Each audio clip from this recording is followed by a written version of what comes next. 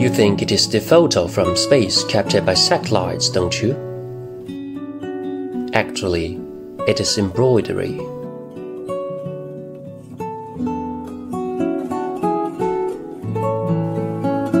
The artist Chen Yinghua has created 26 universe embroideries since 2006, including prominences, Crab Nebula, Aurora, and Whirlpool Galaxy. Chen's embroideries were shown at the 28th General Assembly of the International Astronomical Union in 2012 and became an instant hit. In search of these dreamlike masterpieces, we are going to visit a studio in Suzhou in Jiangsu Province, East China.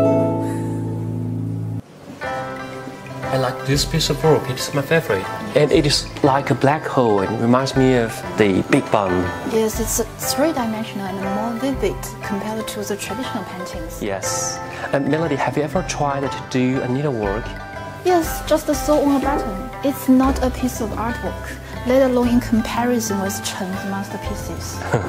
so, would you like to try something new today? Yes, why not? Let's go. Let's go. 陈老师你好。陈老师你好。哎，你们好。嗯，欢迎欢迎。看了您的作品，感觉非常震撼。哎呀，谢谢谢谢。您这是绣的什么呢？呃，这是一幅星空图，也是，这是一个月亮。嗯。我们可以可以体验一下吗？啊，好的，可以可以。是这个是三十六分之一，这个要比较细，我要把那种朦胧的感觉绣出来的。这个东西都是技术活，对，然后你要试试穿针。Yes, I made it. Wow. I made it.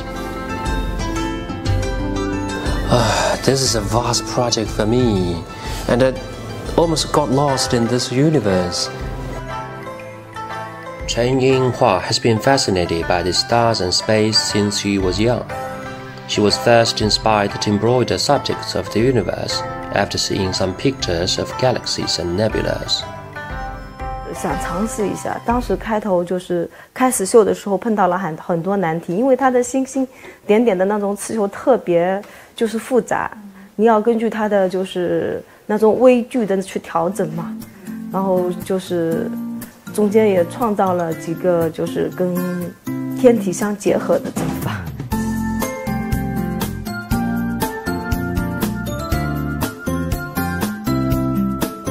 们苏绣领域呢，就是一直以传统的那种图案，我觉得这个也是一个创新。呃，针法方面啊，图案方面能体现我们就是现代传统非遗手艺的一个一个很好的就是题材。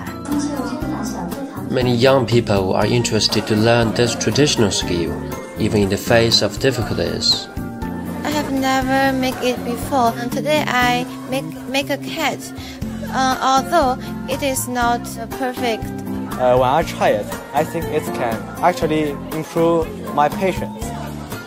In Chen's work, we not only see how the intersection of art and science can help catalyze interest in the other, but also how the traditional art of Suzhou embroidery, in the hands of a new generation of artisans, can create something as magnificent and inspiring as the heavens above.